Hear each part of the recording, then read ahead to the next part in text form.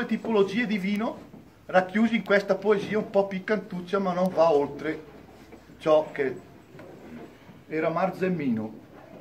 Al primo chiaretto dell'alba camminavo nella champagna dell'oltrepo pavese, in mezzo al nebbiolo. Il tempo, il tempo era un inferno, il cielo verdicchio ma tendente al grignolino. Vittorio, mi riparai quieto, sotto un pinot, e lì conobbi una soave donna fugata con un vestito molto rosé.